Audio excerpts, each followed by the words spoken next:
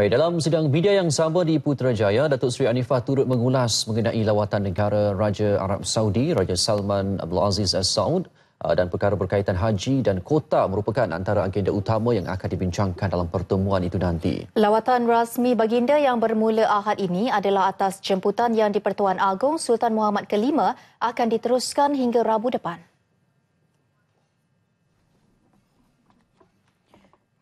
Menurut Datuk Seri Anifah Aman lagi, ia lawatan pertama baginda ke Asia Tenggara setelah menaiki tahta pada tahun 2015.